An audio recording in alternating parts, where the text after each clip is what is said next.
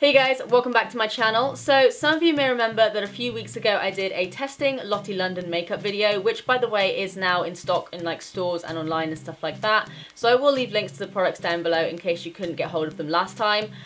I lied to you in that video though because that wasn't everything.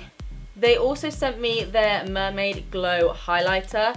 So I thought if there's a highlighter that warrants a video dedicated to it, this is the one. So I have already had highlighter on today. I've kept it on like my inner corner and my cupid's bow and things like that. I've tried to blot it down as much as I could on my cheekbones because that's where we're going to be focusing today. I'm going to do the full like stripe rainbow on this side and I'm going to kind of mix the colours together and see what we can come up with on this side. Fingers crossed it's somewhat wearable because I have to leave the house in about 10 minutes. So let's see how this goes. So this is what it looks like and I'm actually just going to swatch my finger straight across and you guys may not be able to see that, I'll do close-ups, but it's not too intense, which I'm kind of happy about. So if we stripe it across, you can't really even see it too much there. Um, what I'm going to do is I'm going to grab a big brush, this one is a radial brush, um, and I'm going to kind of squish it and bring it across like that. That looks pretty. Okay. So, let's see.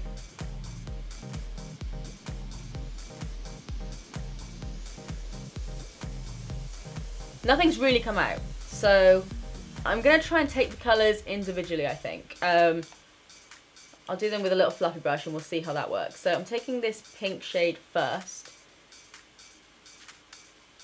Pop that one there. That gives a nice glow. Then we'll go in with the orange one.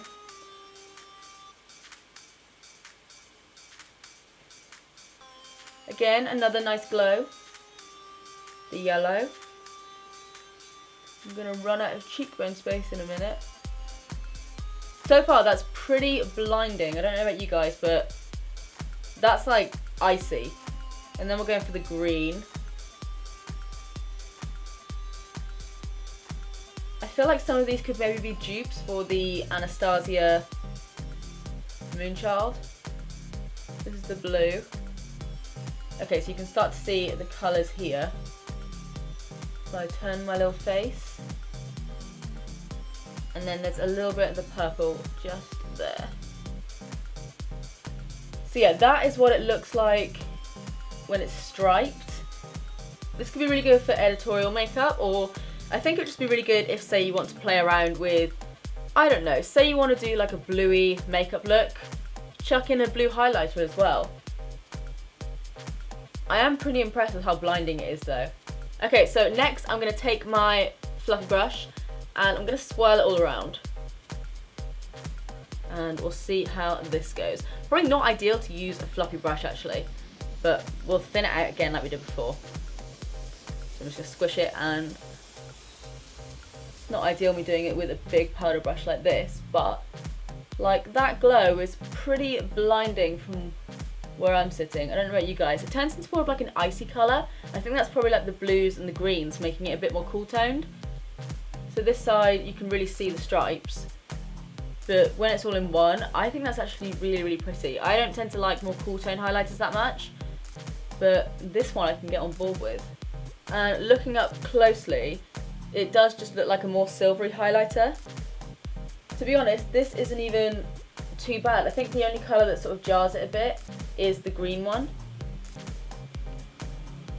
But I'm going to see what it looks like when you kind of blend it in like that. It's like a blended stripe. It does give you a sort of mermaid glow to you. But you can honestly see how blinding that is. I'm going to actually grab the sort of warmer colours, so the top three here. And I'm going to apply it more into my cheekbones here. It's a really nice formula.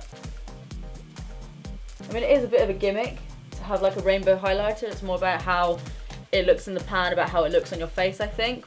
Especially if you're pale, I feel like this would work really, really well if you had really fair skin. Mixed together, I think it's stunning. when it's all separate, maybe not so much, but yeah, I think I think it's actually pretty good. So again, I'll just quickly swatch these for you guys just so you can actually see the pigmentation. Try not to get all the colours on the wrong finger. So there's some of the colours there. As you can see, they're all fairly pastel so they're not really out there, but if I can show you guys here. When you actually put them on, they have just got like a slight tinge almost. It's not a full-on colour. It is just more of a, like a subtle hint. So if you are looking for like a dupe of the Moonchild palette or anything like that, then this could be your answer and it's super cheap as well. I think this is $4.99 or $5.99. It's one of those two. Um, but yeah, it's all available online now. So if you do want to buy it, I'll leave a link down below. Okay, so that's it for today's video, just something short and sweet. I really hope you guys enjoyed it. If you did, please give it a big thumbs up and subscribe if you do want to see more of me. I post every Tuesdays, Thursdays and Sundays. Also, let me know if you've tried any rainbow highlighters or anything like that and how you wear them. But apart from that, that's it from me. I love you guys and I will see you in the next one. Bye!